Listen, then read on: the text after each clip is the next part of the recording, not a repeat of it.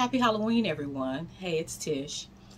Um, hope everyone has had a great day today. Um, I am here uh, for my fourth video talking about surgery. So, surgery has happened. Um, it happened October 22nd, as you know. Um, and I am now in day seven, eight of recovery.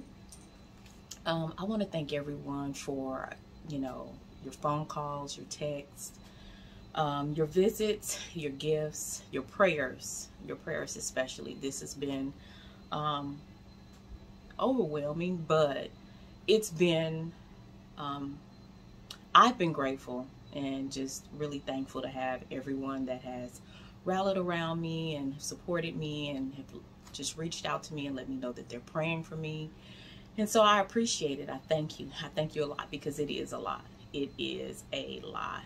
Um, I go back to work tomorrow.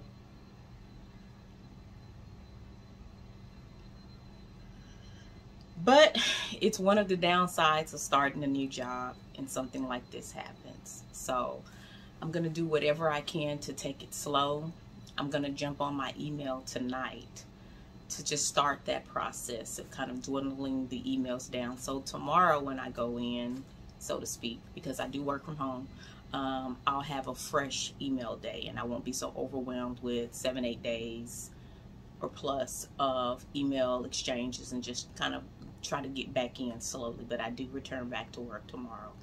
I would advise anyone, even if you work from home, to try and get at least two, three weeks off for this process because it is a lot. Um, last week I was extremely sore, highly fatigued, um, and it just takes a lot out of you. I'm still tired now. Um, I'm still sore now.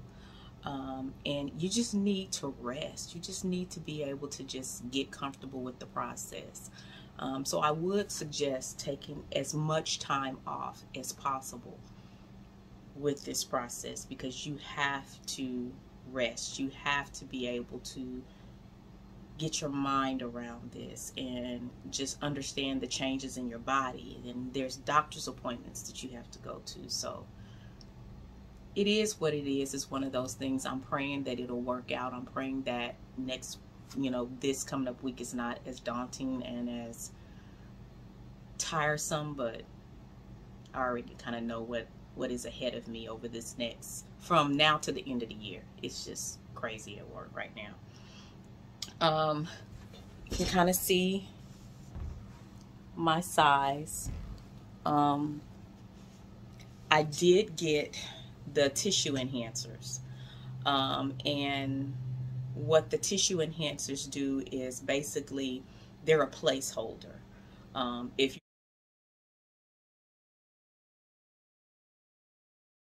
You're not going to have reconstruction immediately like me. I'm not going to have reconstruction right now or I didn't have reconstruction with the surgery as I explained in one of my previous videos right now even though patients in the hospital and my doctors just didn't feel comfortable doing the reconstruction they just didn't want me in the hospital this long as long as it required I stayed in the hospital one night and in this video you'll see different clips of me going through the process, but it was an overnight stay.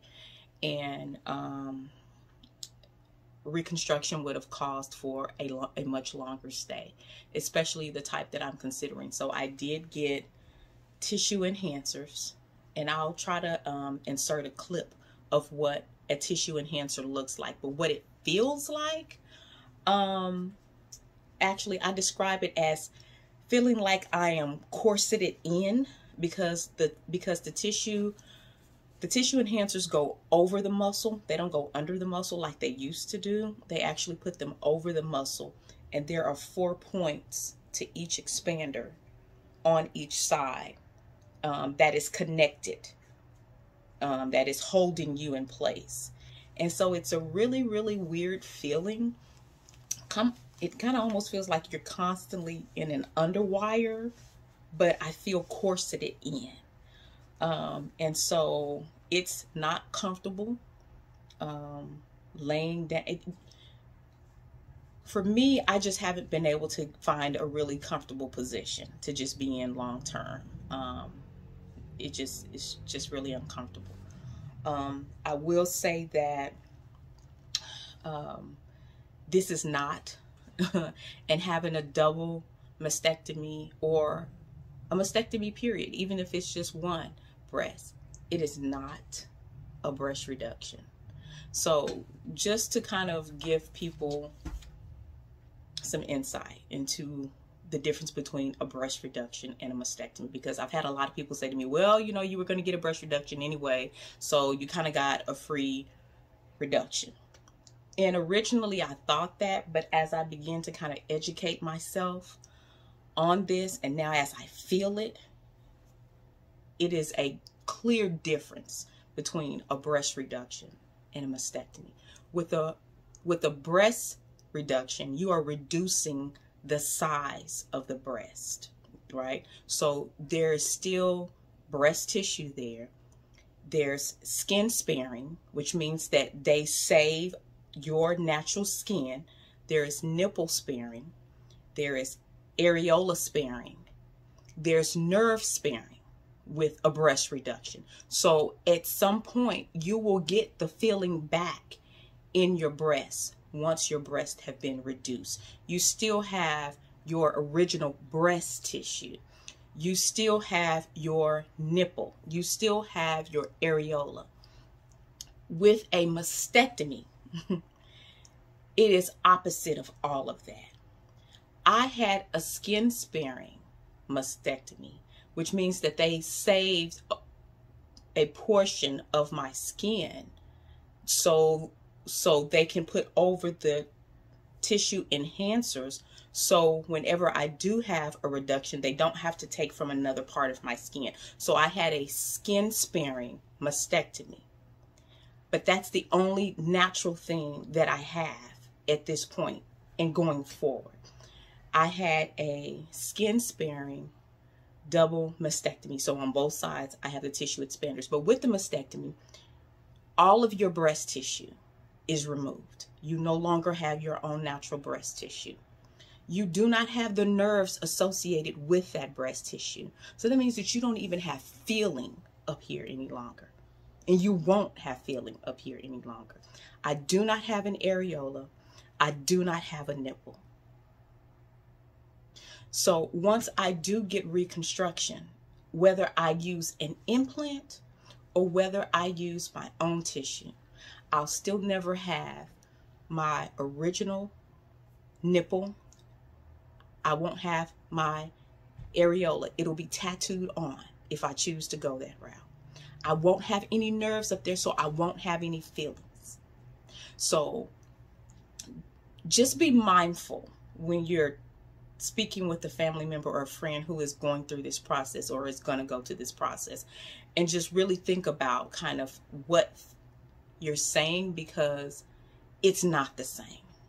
It is not ever going to be the same for them. Um, the shape of their breast, even if they have a implant is not going to be the same because there's no tissue up here to kind of hold that natural shape. I mean, they had to cut all the way here to me on both sides to remove breast tissue because I had breast tissue all the way in that area. So all of this is void of breast tissue. So I didn't have a breast reduction at all. Now, there are some people that do have lumpectomies with breast reductions. They still have all of those things that we talked about. But if they go and have a mastectomy, it isn't a breast reduction. You have now removed all natural parts and feelings of the breast. Um, with this, I'll say that on this side, which is the side that the cancer was on my left side, um, I do have like some tingling in my arm. Um, I don't have it as much in my right, but I do have it in my left. And um, that's where they were really making sure that they removed all of that breast tissue, the lymph nodes in that area, Um, and so there might have been some damage to some of the nerves muscles in that area. So I do have a tingling feeling and a sensation that runs from my wrist all the way up from the underarm to this area. Um, I don't have a lot of feeling um, in my underarm area. I have it from here. I have feeling here, but under my arm itself, I don't have any feeling. Um, I do have some, a little bit in my right underarm, but not a whole lot. It's, it's just numb. I'm just completely numb in that area. Um, so that's kind of where things are. Um, mentally, I am, I'm okay. I'm, I, I have my days and I would be lying if I'd said that I did not but I have my days. Um, in this video, I have put clips in here, and if you are squeamish or you don't like to see certain things, I would click off towards the end or just kind of scroll past that. But I do show actually what my scars look like. Um, just so you can have an idea of the impact of what this surgery does to a woman's body. Um, to provide you with a little bit more empathy of what people are having to experience and what they're having to go through. Um, I do have my days. It took me a few days, honestly, to actually look at my scars. Uh, when I first, when I took my first shower and I had to take off all my dressings, I did not look at myself. I did not. I, I looked down and I took everything off and I attached my drains to my lanyard and I just got in the shower and showered the best that I could. I didn't even look at myself when I was showering. I couldn't. I wasn't ready. Um, but by the time I took my second shower, um, I did go ahead um, and just kind of glance at myself. And then that Saturday, yesterday, um, and if y'all want to get into this to this fresh retie, because uh, I did get my hair retied this morning. Um, it is growing and thriving. Get into that. Sorry, fo focus. Um, yesterday I washed my hair because I had to go and get my hair retightened, my locks retightened this morning. And so I wanted to go ahead and wash my hair. And my plastic surgeon said that I could when I visited him Thursday. He said, please go ahead and please take a shower because by then I had only taken one shower. I told him I didn't want to take another shower until all my drains came out. He was like, nope, I need for you to take a shower. I need for you to allow those dead cells to get washed off. I don't want you scrubbing yourself. I don't want you using shower gel with beads in it and all these fragrances or little um, exfoliants. Just try to use as natural of a shower wash as possible. But I want you to take a shower. I want though that water, that soap to wash over those areas that sloughs off all of those dead cells and any type of, you know, just anything. He said, so go ahead and take a shower. You can wash your hair. I don't want crazy movements. I don't want you lifting anything up over your head. So I stayed in my hair and I had to plait my hair up. Um, no crazy movements, but I want you to take a shower. So by the time I washed my hair yesterday, I did look at myself. I was by myself, um, and that was probably best. Um, and I just took a good long look at myself, and I looked at the angles and where everything was, um, and then I just looked at myself. Um, and I was okay. I was okay. Um, this is still just the first step in this process because I haven't received pathology back, so I don't know what my next steps are, but I haven't even done the reconstruction yet. This is just step one. So I needed to go ahead and get settled with step one. And so I'm there. Um, it's still a little different. No, it's a whole lot of different. Um, but I am getting used to the new me because this is a life changer. This is a mind changer. This is a game changer. And so now I have to understand and how to navigate in this new place that I'm in and in this new body. Um, and it's going to be a while because I'm not even thinking about reconstruction until early next year. So I have to get used to these tissue expanders and how how my body looks and once the sutures, the staples dissolve and come out, just that process and then I'm going to have to go back and do this all again. And what will my body look like then based on the option that I choose, an implant or tissue or even going flat that's that's part of my consideration I go back and forth with that. Like, do I want to take my body through anything else? And so I have a lot of decisions to make. And people who are going through this have decisions to make. So give them grace. Give them grace. Let them talk through this process. Let them express how they're feeling. And just listen. Just listen. Um, one of the things that I do when people come to me and they're just talking or they're expressing themselves or they're venting or whatever, um, especially my employees, but um, some of my friends, I'll say, okay, so are you venting, expressing yourself, or are you trying to come to a solution? So that gives me an understanding of what direction I want to take my conversation with them in. And most times I can tell you right now, anyone that's sharing anything with you, they're just looking to express themselves. They're just looking to vent.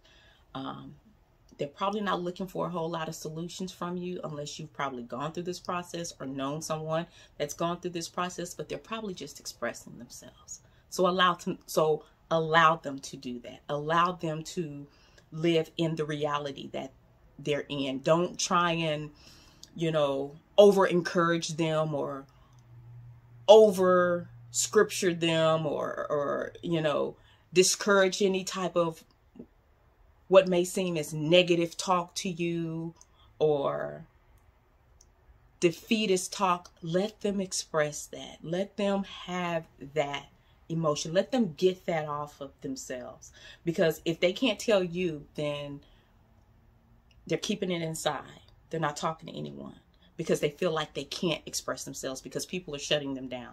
Don't let them, don't do that. Just let them express themselves. And if you're not sure how you need to respond, then ask them. You know, just say, thank you for sharing that with me. Are you looking for a solution or are you just trying to vent? You know, something like that, but just, just be there. And sometimes silence is golden. Silence is all they need.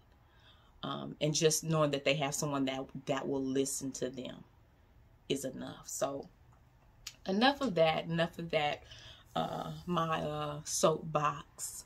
Uh, but y'all do need to still get into this retie it is cute. I, I guess because I've looked like a bum I've just looked worn down for the last seven days I feel like today I look like a little bit like myself, but um, today is the last day of breast cancer awareness. And I want to say that um, if you have someone that is dealing with breast cancer, surviving breast cancer, fighting breast cancer, this month is over for the rest of the world, but but for them, this is a daily walk. You know, it's not over at the end of October. This journey still continues. The marathon continues. So just be mindful of that and be mindful of your support. Um, and just recognize that your support is needed all throughout this process.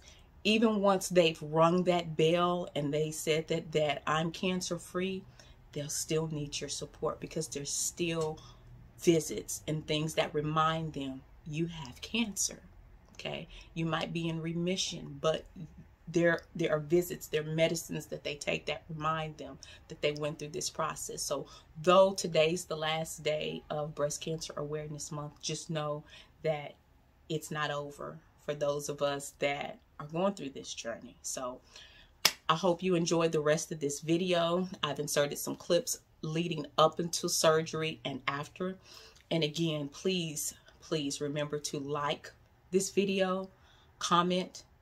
I do want to interact with people. Share this video with others who you feel will be helpful to. And I hope to talk to you soon on my next video.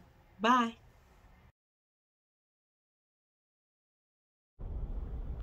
Good morning, everyone. It's Tish. It's Thursday, um, October 21st.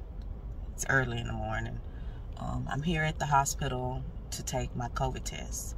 Probably just going to take you on the day with me because I have a busy day of hospital visits and work. I have to come back to the hospital this afternoon to get the Sentinel injection. So I'm here right now to get the COVID test for the surgery tomorrow. So hope everyone's having a good day. Talk to you later.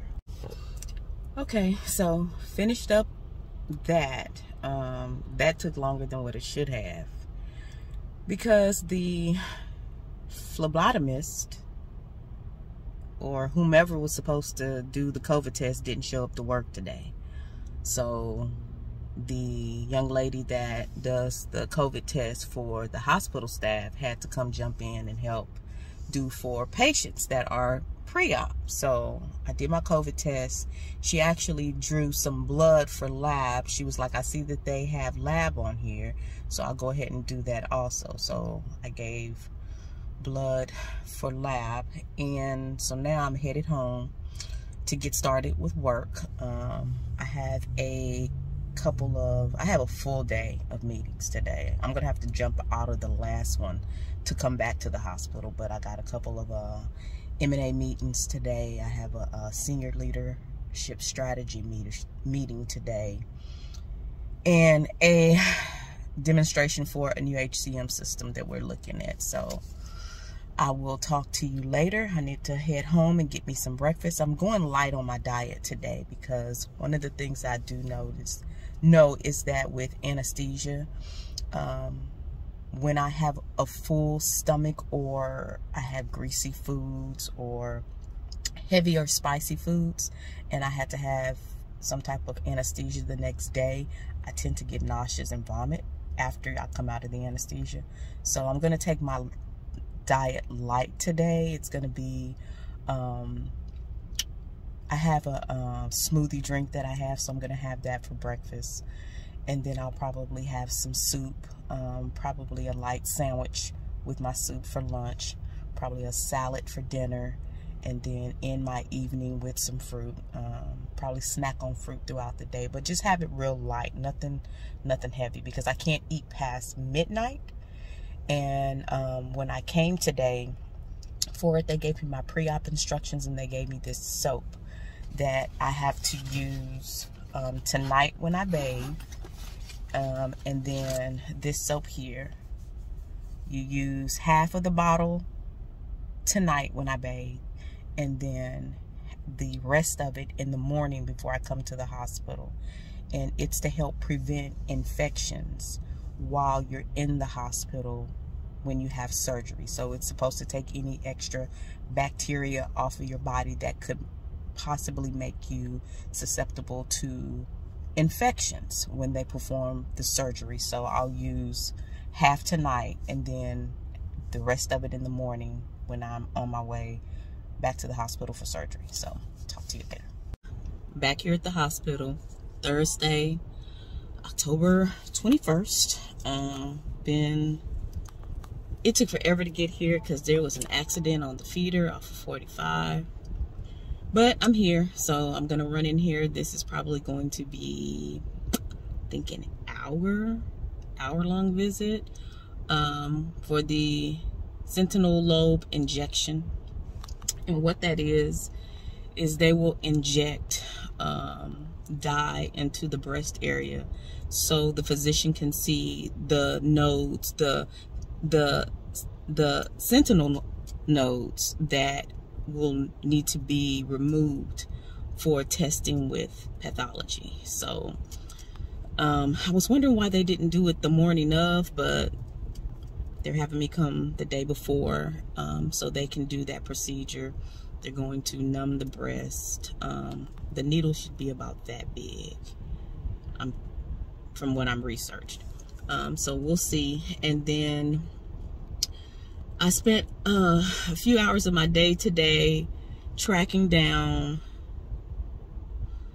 test results to send um, because I had to have cardiologist clearance for the surgery because I see a cardiologist for AFib. So I had that. I had an EKG and an echogram done two weeks ago. And they were supposed to send it to my surgeon. And I got a call that they still hadn't received cardio clearance. And so I called and I was like, that should have been done two weeks ago. Come to find out, they sent it to my general practitioner. Nowhere did I mention send it to my general practitioner. I gave them the name and information where they were supposed to send. So they said they'll take care of that. Woo! So I'm gonna go in here, get this done, and go home. Well, no, I can't go home. I have to run to Walmart and find a um, a Spider-Man costume for Halloween because I, I'll be down and I won't be able to do that. And he told me he wants a Spider-Man costume for Halloween because he's going to go hang out with some of his friends on Halloween. So I need to do that. I want to go ahead and take care of that. So that'll be over with and done. Um, and I think that's about it. Um, have a few more of the things I need to wrap up. Um, and tomorrow. So talk to you later okay, that's done. Wasn't too bad. It wasn't too bad. Um, she actually did two injections.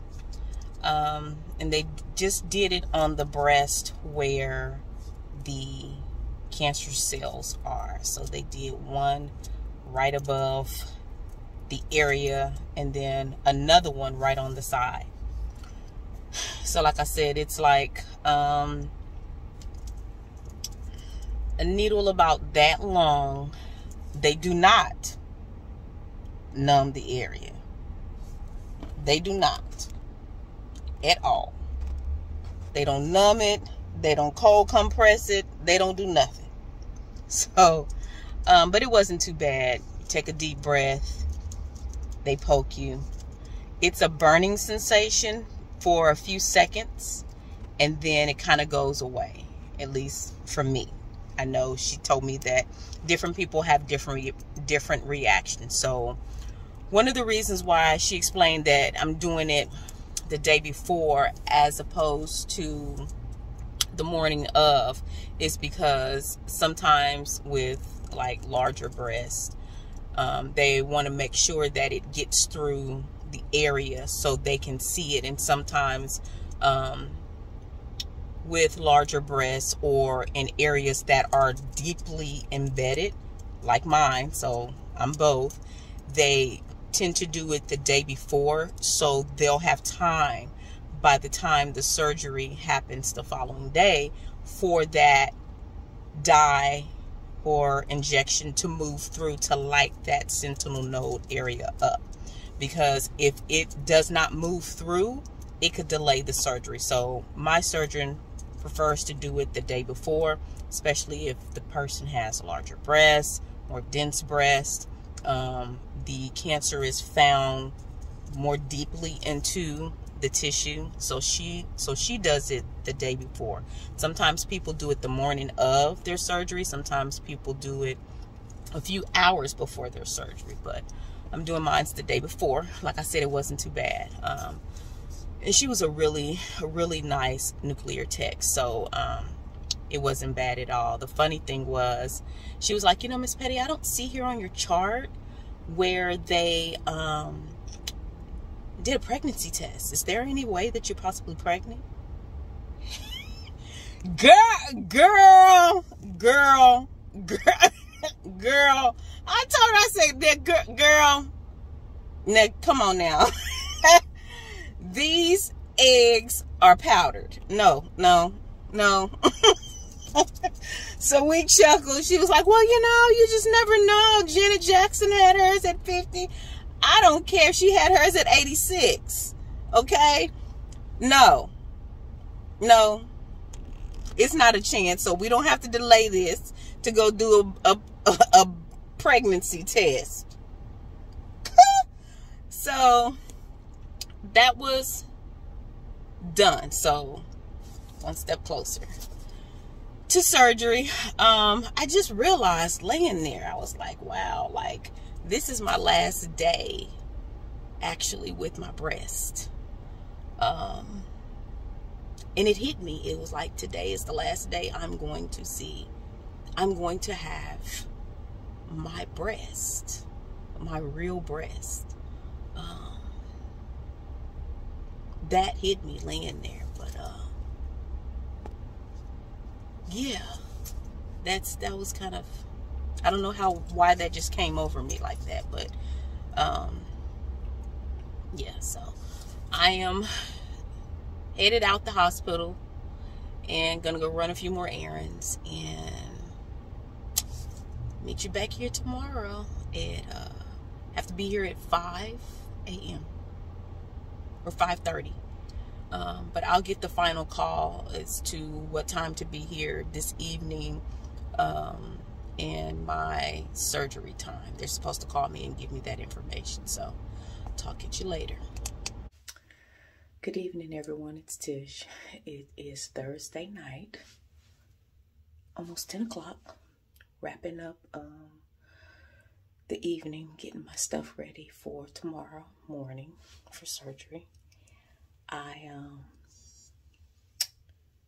just finished wrapping up some emails, some last minute emails that I had to do and um, put my out of office on and got Nicholas straight and in the bed and talked with him, prayed with him for a while.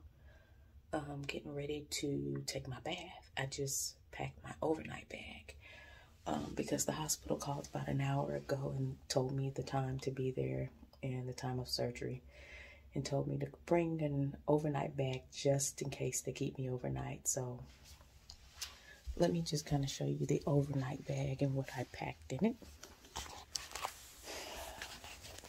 So this is my bag, just your standard weekender bag. And what I have in here um, hand sanitizer, chapstick.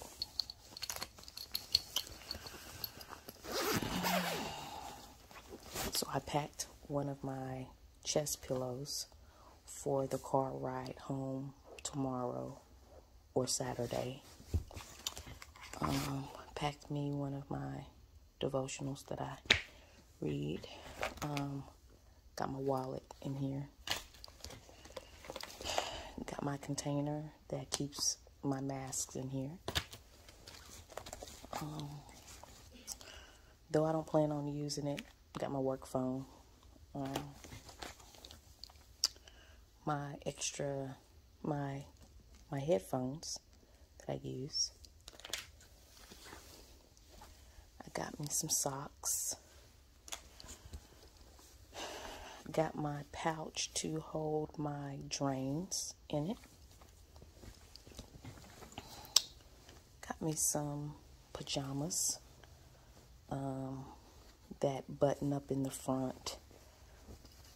Good thick flannel material. Not too, too thick, but it's enough.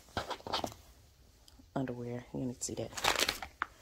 Um, toothbrush, toothpaste my disinfectant wipes. And then this is a abdominal pad, and I'll actually use these. Um, they will already have some on the dressings over the surgical bra. I mean, under the surgical bra, and they gave me an extra pack to keep, um, just to give me a little bit more cushion on the surgical bra. And then let's see what else I got in here. Um, some hairpins because I can't have any jewelry or hairpins on tomorrow, but once I leave, I can. So that's just what I have in there. Pretty simple. Um, like I said, if I stay overnight, if I do stay, it'll be just overnight.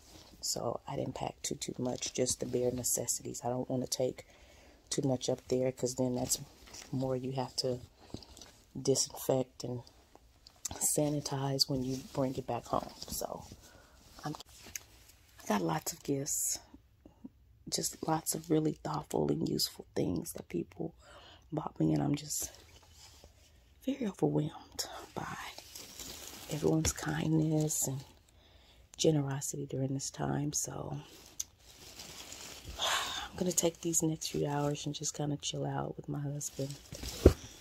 Lay next to him for a little bit. See if I can fall asleep for a few hours. But tomorrow's surgery day at the hospital. I have to be there at 6.30. Surgery is at 8.30 a.m.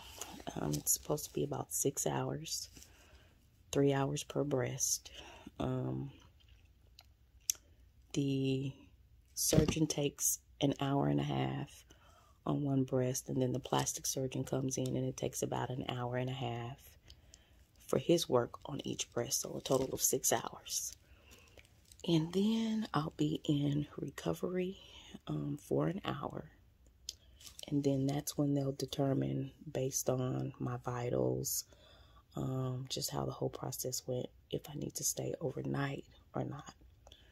Um, my cardiologist called today just to check on me and see how I'm feeling. And she strongly suggests that I stay overnight um, just for observation. But um, she said she'll leave it up to the surgeons to make the determination. But she was just calling to wish me well and to check on me. So, um,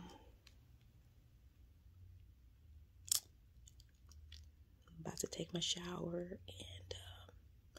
lay down and talk to everybody tomorrow. Bye. So in this clip, you see, I am in the room that they brought me into once I checked in at 6.30 that morning. By this time, I've already undressed out of all my clothes. I'm in the hospital gown. They had come in and they checked my blood pressure, just checked different vitals. As you can see, I'm hooked up to the IV at this time, and I'm just resting and waiting for um, the plastic surgeon and the breast surgeon to come in. But I'm just kind of relaxing, just taking in the room, getting ready for them to come in, and at some point, anesthesiology. The plastic surgeon and the breast surgeon have come in at this time. They actually had also um, started the process for anesthesia. As you can see, the marks that the plastic surgeon and breast surgeon have made up top. Since I'm having a double mastectomy, they have to mark both sides of the breast. I can't show you the whole thing or as I'll be showing you the last. Okay, in this clip, I am in my recovery room. I have already come out of recovery. This is the room that I stayed in overnight. You'll see the bandages there. Um, you see the bra that they have me in. Um, it is a drastic difference in what I had before I went in. Um, I'm showing you one of the drains there, and it is actually four drains. Um, there are the different bandages that they have going across and down the breast area um, just to secure some of the um, drainage and protect the wound from where they removed the breast. Take two. Um, hey everyone, it's Tish. Um, it is Sunday, October 24th, and I am back home. Um, I had surgery on Friday, and I was released from the hospital yesterday. Um, I can't remember the time I came home, but it was probably mid-afternoon. Um, I feel okay, as expected. Uh, kind of see some of my dressings kind of peeking through. I just got up from a semi sort of nap, walking around, trying to just stay mobile for a little bit at a time. Kind of swollen up here. Uh, I was about to come in and um, I used restroom and so I was about to change my drains. I was looking at them and they were looking a little full, so I have to change. I have to drain them. There are four drains. I put the fluids in this cup, measure it, then I record it on the sheet that they give you, this log they give you, and you take it to the doctor. So my first doctor's appointment will be on the 28th. So that's what I was getting ready to do. uh, pain level four or five. Um, I stay on rotation with the antibiotic and my I take Tylenol. I only took a hydrocodone codone once today. Um, I just want to stay really with the Tylenol. I had a little bit of a fever this morning when I first woke up. I think that was from the flu shot that I took yesterday at the hospital.